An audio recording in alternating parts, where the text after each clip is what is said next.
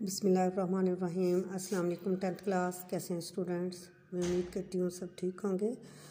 चले बेटे, उर्दू की बुक खोलें। ये तो हम पढ़ रहे थे मैदान करबला में गर्मी की शिद्दत। ये हमारा टॉपिक था और हमने इसकी पहले दो बंद किए थे। मैदान करबला में कैसी शिद्दत थी और जो वहाँ के हालात थे। वो सारी चीज़ें आपको मीरोनीस की यही खूबी है, उनके कलाम की कि उनको पढ़, पढ़ते हुए करदार नगारी सोसो गदाज में आप उसकी पूरी इस तरीके से वो मंजर कशी करते हैं कि वाक़ तो जज्बात नहायत खूबसूरत अंदाज में वो पेश करते हैं। उनका मरसिया पढ़ने का अंदाज़ बहुत अच्छा है और जिससे इंसान ऐसे होता है कि वहाँ पे ही अपने आप को महसूस करता है कि जैसे उसने अपनी आँखों से ये चीज़ें देखी हों। आगे हम अगले इनकी, इसके तीसरे बंद की तशरी करते हैं। झीलों से चार पाए न उठते थे ताब शाम। मस्कन में मछलियों के समंदर कथा मकाम। आहू जो काहले थे जो ती, जो चीते फाम। पत्थर पिघल के रह गए थे मिसले में खाम। सुर्खी उड़ी थी फूलों से, सब्ज़ी गया से, पानी कुओं में उतरा था साय की चाह से।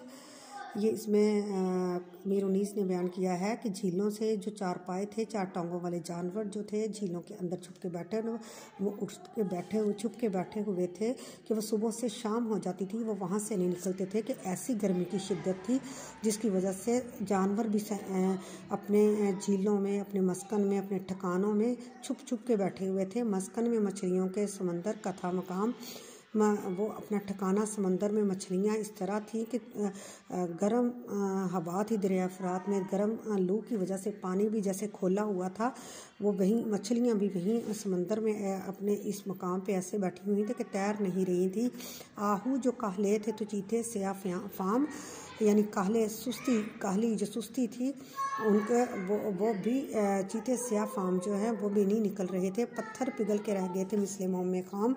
मोम खाम खाम की तरह, मोमबत्ती की तरह जो पत्थर थे, वो भी पिघल गए थे। शिद्दत से, गर्मी की शिद्दत से, हरारत से, गर्मी की ताबो तब से जो पत्थर थे, वो भी पिघल गए थे। सुर्खी उड़ी थी फूलों से सब्ज़ी गया से।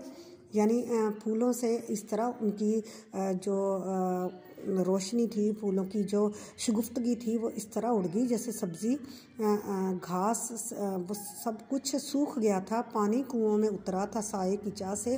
कुओं में जो पानी भी था, वो भी नीचे इतना हो गया कि वो इतनी कम पड़ गया कम हो गया था कि इस तरह का इम्तहान था नबी की उम्मत का।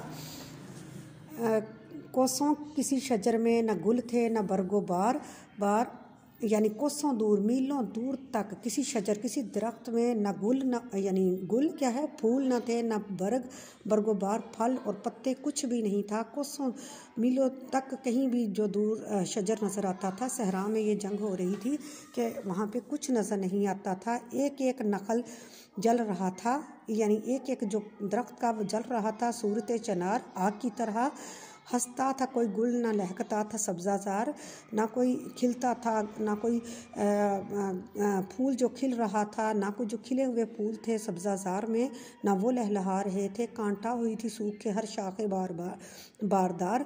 यानी हर जो शाख थी वो सूख के कांटे की तरह मुरझा गई थी, कांटा हो गई थी। गर्मी ये थी कि जीत से दिल सबके सर्द थे, यानी ज़िंदगी से सबके दिल जो थे वो उचाट हो गए थे। गर्मी की शिद्दत से लोग निढाल हो गए थे।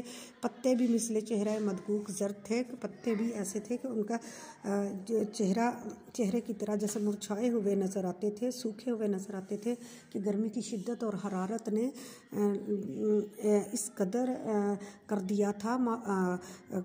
सहरा में दूर दूर तक जो दरख्त थे, जो गुल थे, जो पौधे थे, उन पे आग बरस रही थी। ना कोई गुल लहकता था जो खिले हुए थे, ना कोई नया फूल खिल रहा था, हर तरफ़ हर तरफ़ जो था गर्मी की शिद्दत और तपश ने सब कुछ खाक किया हुआ था और लोग तड़प रहे थे। ठीक है बेटे, आपने ये इसको अच्छे से याद करना है और बाकी जो पहले करवाए हैं, उनको और इनको अच्छे से याद करना है ताकि आपका जो टेस्ट है वो अच्छा हो। ओके, अल्लाह हाफिज़।